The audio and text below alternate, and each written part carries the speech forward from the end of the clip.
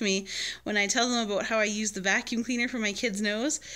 They're like, "No way, you've got to be joking!" And uh, get your finger out of your nose.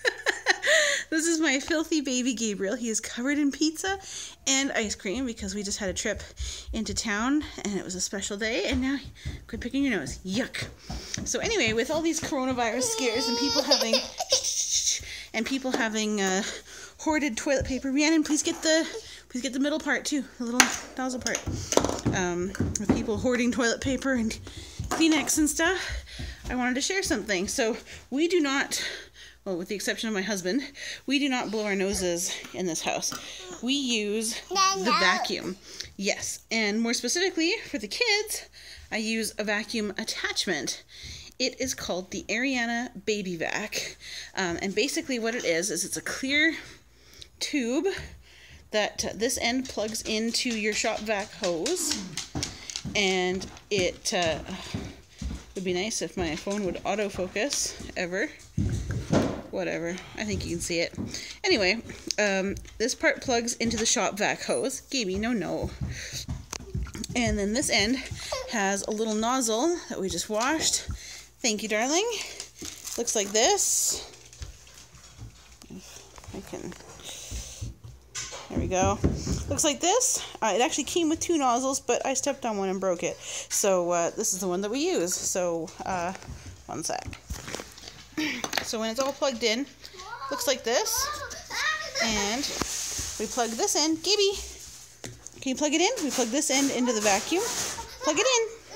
Uh, uh, no touch. Gabriel, plug it in. You do it. Rhiannon, please be quiet. I'm making a video.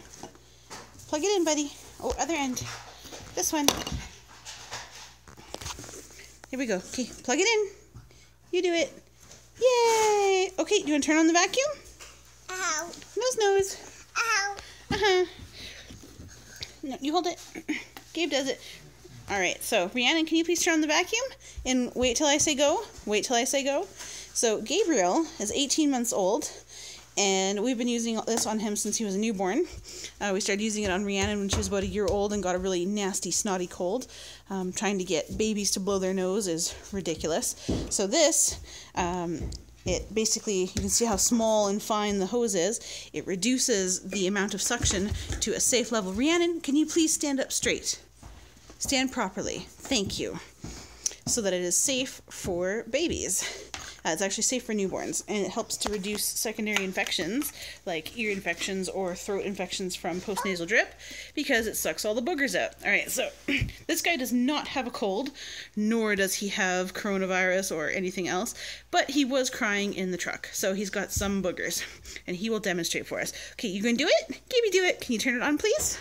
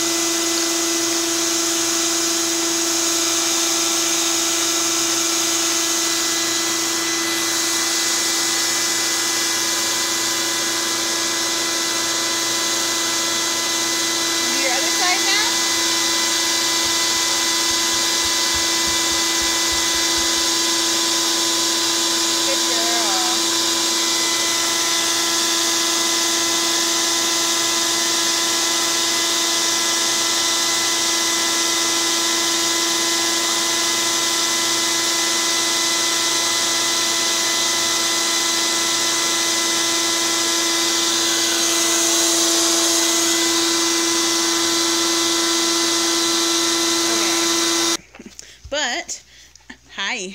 No, no. You want to do your nose again? Okay, No. just a second. I'm doing. I'm talking to sister though. All right. So Rhiannon doesn't actually like to use the little the little hose anymore. She prefers to actually just use. No, no, leave it, Gabe. Ah, ah, leave it. She prefers to just use the shop vac the way that I do. Um, so she's gonna demonstrate. Now, uh, I do not recommend letting little kids do this on their own. Um, Rhiannon is four and a half, but she is. I like to think she's very smart and she knows what are some rules with using the vacuum? Mm, I don't know. Yeah, you do. Do we ever put it near our eyes? No.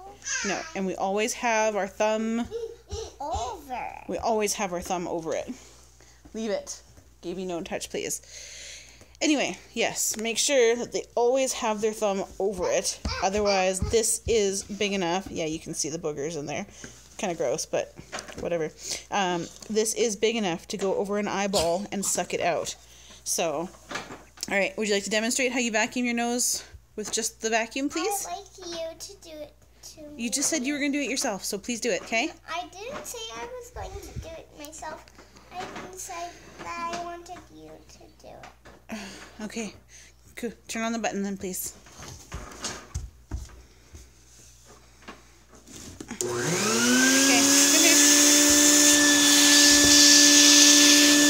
Over the hose suction too tight. Always tell them to keep their mouth open. That way it can't uh, can't hurt their ears at all.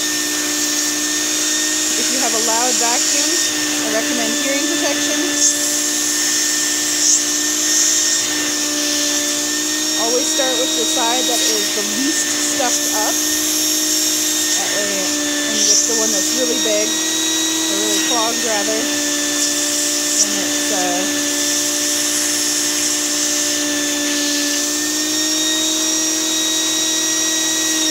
how you feel now? Can you still? Yeah, you can breathe now. Oh. we usually do a blow test. We go blow, good, blow. Okay, now sometimes, if can you turn it off, please? Stop. Turn it off, please.